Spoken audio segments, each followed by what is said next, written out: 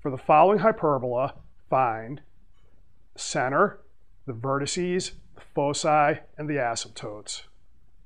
Our equation's given by 4x squared minus 16x minus y squared plus 6y minus 9 equals 0. All right, so the first thing we want to do, put our equation into standard form. To do that, we first have to figure out what direction the transverse axis goes in. If we look at our equation, we have a minus sign on the y squared, so that means the bowls are going to go like this, so our transverse axis is the x-axis. That means our standard equation is going to have the form x minus x0 squared over a squared minus y minus y0 squared over b squared equals 1.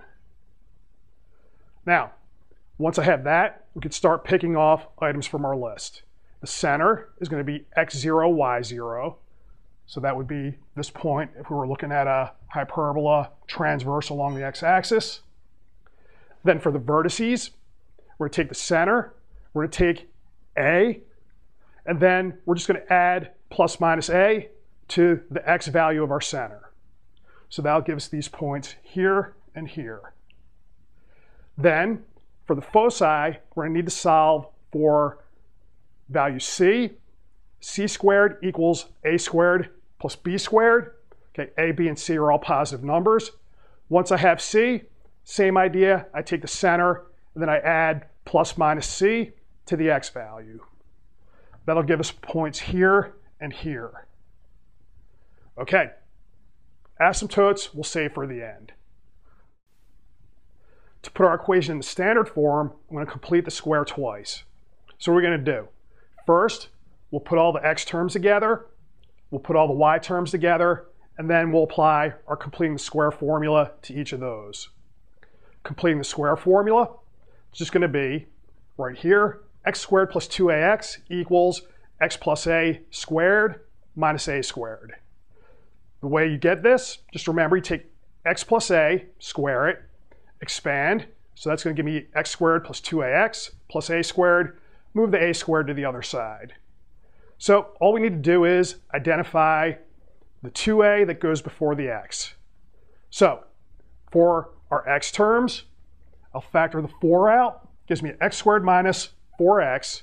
2a is equal to minus 4, so that gives me a equal to minus 2.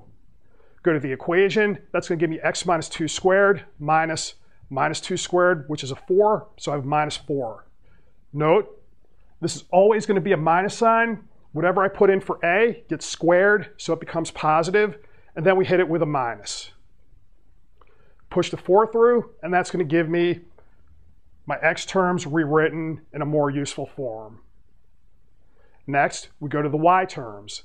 Here, we'll start by factoring out a minus sign. Then we note here the 2a that goes with the y is just going to be minus 6, so a is equal to minus 3.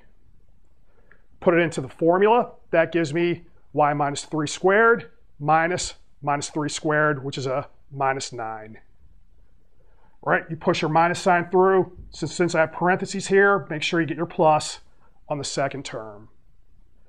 Okay, that's completing the square. Now I could take our two expressions, put them into our formula, and then collapse. So here it's just algebra. So what'll happen is the nines go away, I move the 16 to the other side, and then divide both sides by 16. Now we have the equation in standard form. We can go through our list of items. First, we note the center is going to be at 2 comma 3. So that's the point right there. Once I have the center, I can get the vertices. So we'll note I have a squared equal to 4, b squared equal to 16, so a is 2, b is equal to 4. We can get c squared, that's going to be 20. That's a squared plus b squared. So c is equal to square root of 20 or 2 square root of 5. Okay, vertices.